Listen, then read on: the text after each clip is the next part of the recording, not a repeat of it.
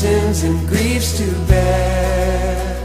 The death is reported of Madame Claudia Jawara, commonly known as White Girl, late teacher of Hill Valley Academy and of number 55 Regent Road Lumley, which sad events took place on Tuesday, the 27th December 2022 at the age of 40. She is survived by her children, Cyril and Cyrilia Thomas, mom Irene Anderson, and dad Coach Mohamed Jawara, commonly known as Coach Swab of Eastern Tigers Football Club. Sympathizers may call on 074 377 144 or 088 228-775 or visit number 55 Regent Road Lumley. The funeral arrangement will be announced later. May our soul rest in peace.